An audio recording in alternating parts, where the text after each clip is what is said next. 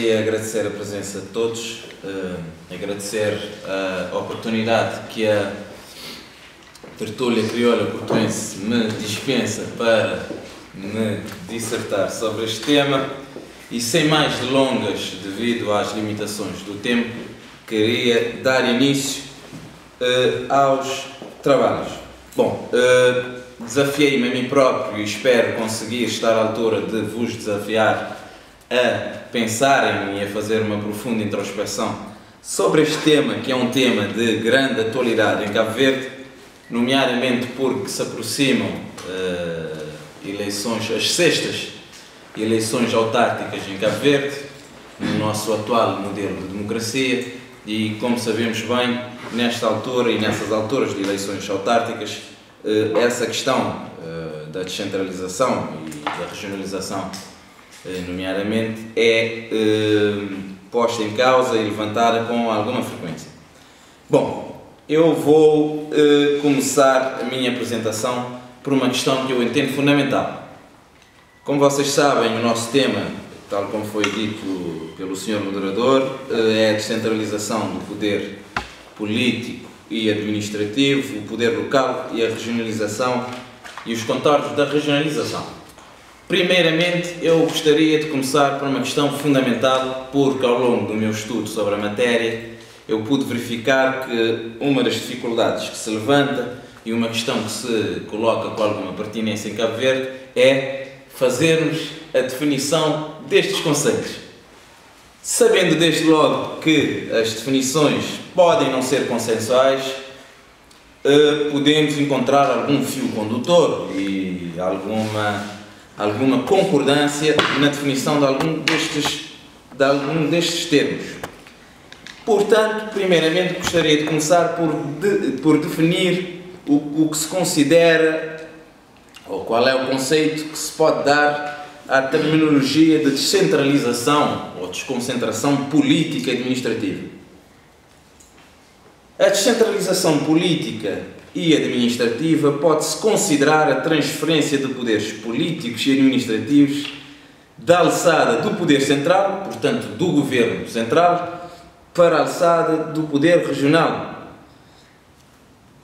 Uh, sendo que, uh, e atenção a esta ressalva, sendo que uh, deixa de haver uma relação de dependência do poder local face ao poder central relativamente às questões e aos poderes que são descentralizados. Portanto, de forma muito simples, a descentralização é a passagem de testemunho, é uh, o retirar-se poderes e competências que estão adstritos ao governo central, ao poder central e colocá-las na alçada do poder local. Agora, para terminar a minha uh, definição, deixo um alerta que nós mais à frente vamos ver que irá fazer toda a diferença. Faz-se alguma uh, confusão, tem-se feito alguma confusão constante entre uh, a definição do conceito de centralização e o conceito de regionalização, porque, sem querer antecipar o conceito de regionalização, o conceito de descentralização não implica a cedência de poderes fundamentais da governação do país. Portanto, quando há cedência de poderes fundamentais do país que estão adstritos ao governo central, estamos a falar de outras questões. Portanto, um, uma, um, uma questão fundamental na descentralização dos poderes é que os poderes e as competências que se delegam não são fundamentais para a governação central, mas são questões que fazem diferença no poder local, nas diversas regiões eh, do país. Agora, quero passar a revista à questão do poder local. A questão do poder local também é uma questão que está muito em voga, muito atual, pelos motivos que já fiz questão de citar no início Estamos uh, muito próximos de, das, das sextas eleições autárquicas no atual modelo democrático de Cabo Verde. Uh, portanto, uh, convém percebermos como é que funciona o poder local em Cabo Verde. Primeiro, em Cabo Verde nós temos um, um sistema de poder local que é híbrido. Uh, o, que, o, que, o que é que eu quero dizer com isso? Peguemos pelo, primeiramente uh, na questão de, dos órgãos que informam o poder local. O poder local instituído atualmente em Cabo Verde é feito através ou é materializado através das chamadas autarquias ou câmaras municipais. Essas câmaras municipais, até agora, embora não, não, esse conceito e essa definição não é obrigatória, essas câmaras municipais têm correspondido ao número de municípios. Para informação geral, neste momento em Cabo Verde nós temos 22 municípios nas nove ilhas habitadas, consequentemente, eh, eh, por coordenação 22 autarquias. Como é que, como é que funciona o poder local? Eh, no poder local nós temos dois órgãos fundamentais. Temos o Executivo Camarário e temos a Assembleia Municipal. Como é que funciona a eleição destes dois órgãos? Eh, numa única eleição existe, existe uma pequena separação em que os cidadãos votam eh, numa mesma eleição, numa lista para o Executivo Camarário e votam para a constituição da Assembleia Municipal. Como é que se constitui uh, o Executivo Camarário? O Executivo Camarário é constituído conforme o resultado das votações. Depois poderemos escorrer sobre esse modelo, mas posso-vos dizer que, se houver uma das listas conseguir maioria absoluta, essa lista fica com a responsabilidade de constituir o Executivo Camarário, portanto, os diversos pelouros uh, e os diversos vereadores que constituem o Executivo uh, Camarário fica sob responsabilidade total da lista vencedora, se houver uma maioria absoluta. Não havendo uma maioria absoluta, os pelouros são distribuídos de forma equitativa conforme os resultados das votações pelas diversas listas concorrentes.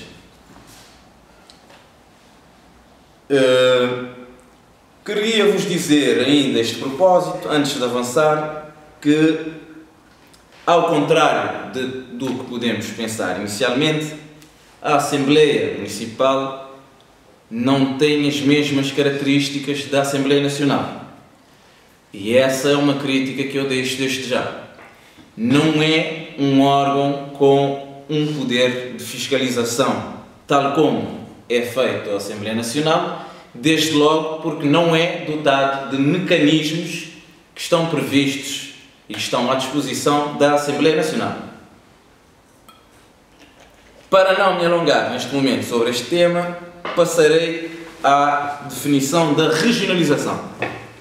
Ora bom, o que é que nós podemos considerar de forma direta e objetiva eh, como regionalização? E, e desde já fazer uma separação.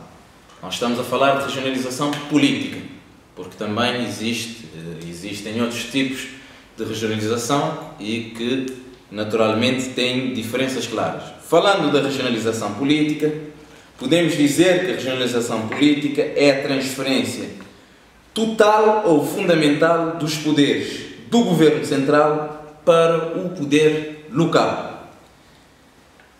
Eh, a regionalização significa, e isso é importante, ou tem como consequência a criação de governos regionais.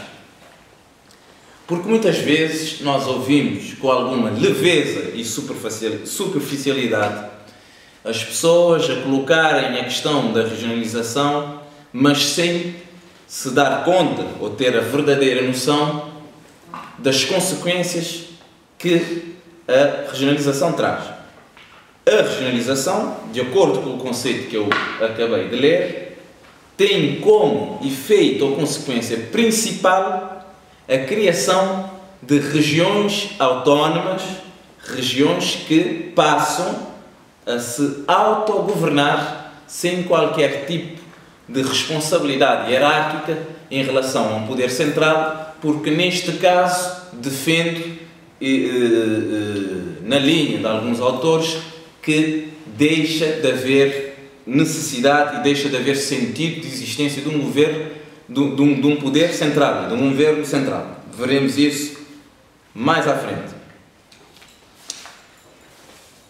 Como vocês veem, e como já devem estar a inferir, eh, a minha posição em relação à regionalização é uma posição de que, neste momento, para as condições e para as diversas características que Cabo Verde tem, eh, a regionalização, neste momento, não tem pernas para andar.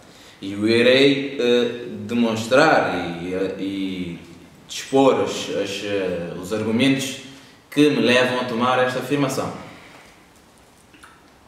No entanto, por uma questão de justeza, de justiça e de objetividade, não quero deixar de mencionar alguns argumentos que são utilizados por eh, pessoas e autores que já fizeram trabalhos, estudos relativamente à regionalização e que defendem a regionalização como um modelo aplicável e de sucesso em Cabo Verde. Eh, dizem aqueles que defendem a regionalização que podem servir como argumentos para se implementar a regionalização em Cabo Verde os seguintes. Primeiramente, a questão da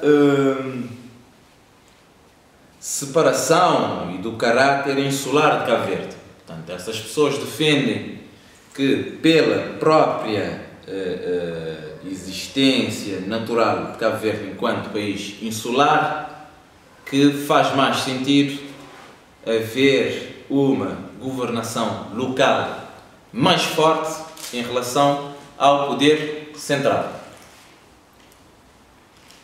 Depois, afirma-se ainda que